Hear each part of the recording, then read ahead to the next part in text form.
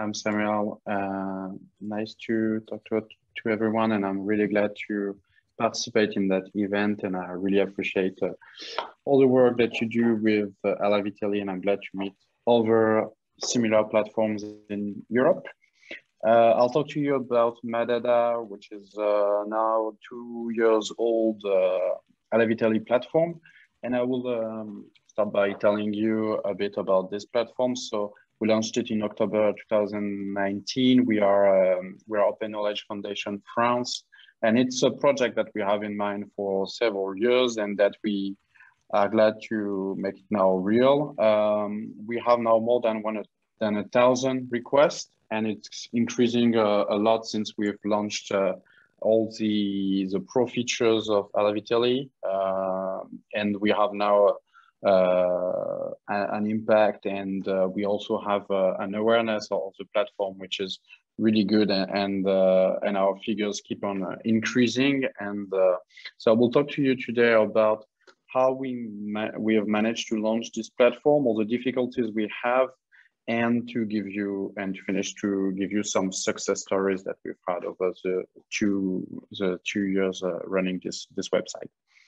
Um, so if I give you some context about open data in France, I will give you the metaphor of uh, the Leaning Tower of Pisa. You probably all know the Leaning Tower of Pisa, of Pisa maybe you've been there. Uh, it's a beautiful uh, building, a beautiful monument uh, that is known for, for its, uh, its leaning, but uh, we always, we don't always know why it's leaning. So the reason it's leaning is that because it has unstable foundations. And it's a bit of the same with open data in France. If we consider open data as, uh, as a nice uh, monument and the foundation as freedom of information. So why is it a beautiful building, open data in France? Uh, I mean, things are not always perfect, but uh, it's a situation which open data is mandatory by the law since October 19, October 2018.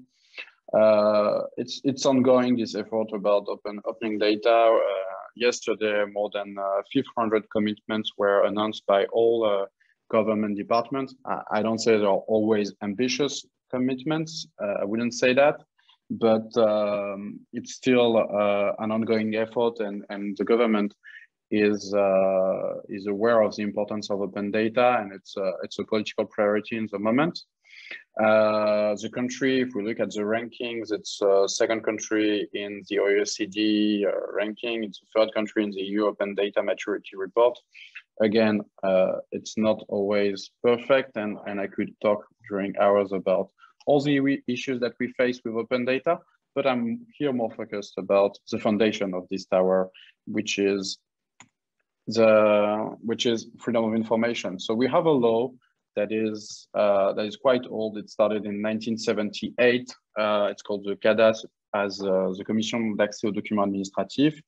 It's a quite easy procedure, procedures. It's uh, it has a large definition of administra administrative document, which is what you can request, and it's now a constitutional right, so everyone can uh, can use uh, FOIA quite easily in France but we have several issues. First is that awareness of the law is still weak among citizens. Uh, it's not a, a, law that is really known and a, and a right that people uh, know. I'm always uh, amazed by how many people don't know about this law, but also it's not known by many civil servants, which makes our work even more difficult.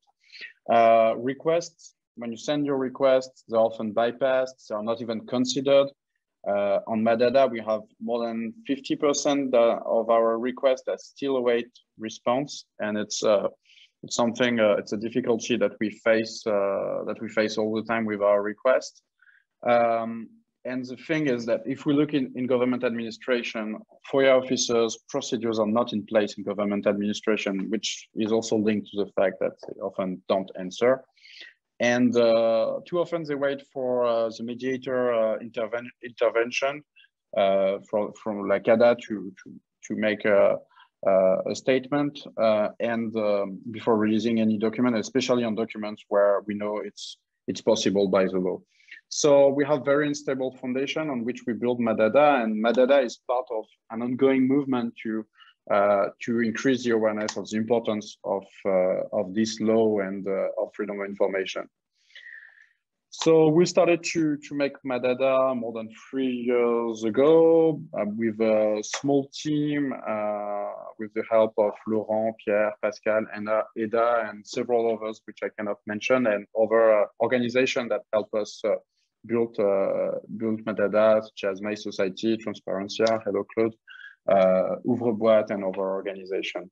One thing we did is that we had to import a quite massive database on all the it's called the public service directory. It's like 50,000 contacts, which is a uh, difficulty was, was the only database that we have that was comprehensive about uh, the French local and national uh, government and all their agencies.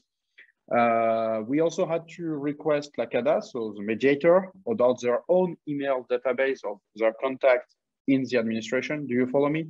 So they have contact in every administration. It's mandatory by the law. It's called PRADA. Uh, it's not the people that are, uh, that are well dressed, it's only a person responsable de l'accès aux documents administratifs, which means uh, all the person that are your contact when you have a, a FOIA request. And we had to send a request, which they first refused and during uh, more than six months. And then they approved and they sent us this document that they we didn't want to, to release at first. And we also spend lots of time uh, explaining civil servants and citizens about our approach. So we have uh, now a website that works pretty well. And so I'd like to share you some uh, quickly some success stories. Uh, uh there are plenty of articles mentioning MaDada, so I will not look at that, more about civil society uh, organization using MaDada. So one example is what Secours Catholique, so it's an NGO with AequitaZ made with MaDada to look at the sanctions for welfare benefits. Uh, they, they talk to uh, department uh, department councils, uh, to, to local council and ask how many sanctions did they release for welfare benefits, and they found that more than 115,000 households each, each year are withdrawn from the welfare revenues each year. And they had a difficulty is that only a third of uh, of all these um, these uh, these departments uh, answered with uh, an acknowledgement of receipt and only 13 on 100 actually released the data. Um, another example is a virus, uh, COVID virus uh, concentration in sewage water. Uh, we had a request from CovidTracker, which is a, a, national website to track uh, COVID, and it took six months to to get to obtain this data in spite of the of the urgency of get, getting access to the data, but now it's uh, integrated and used uh, a lot to track alternatively uh, how uh, COVID is spreading in, in the country. Uh, there is also La Quadrature, which uh, is struggling against surveillance that is using MaDada to track many things, such as how Smart City project use surveillance, digital surveillance so they look at uh, public procurement in, for example, here with uh, Paris 2024 Olympics. So all the innovative uh, solutions for safety that that are uh, that are uh, um, used for for the Olympics. Uh, they also look at all the location of surveillance cameras that are approved with prefectorial orders.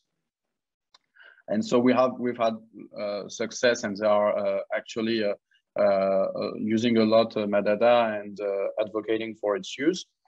And we also, we have done our own investigation here on the transparency of uh, public procurement and subsidies in France.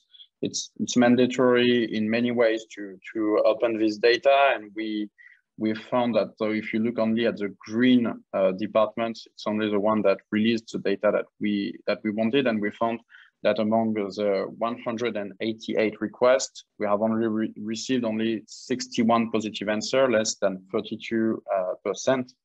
So to, to conclude on that, um, MaDada is used a lot. It, has now a, a, good awareness in the public, so which is really good. It also, it's part of a campaign to improve the freedom of information law, which has, as I have shown you is quite unstable and uh, needs really, in, in an emergency, uh, some improvement. And uh, but we've also had some success, and and we can show now that civil society is using a lot uh, FOIA uh, to to to use uh, in their advocacy efforts. So thanks for listening, and I'm and I'll be glad to to exchange with you. Thank you so much, Samuel. That was really great. And uh, I think even though we all here want RFOI um, systems to be better, it's definitely important to uh, to celebrate the wins. So thank you very much for that.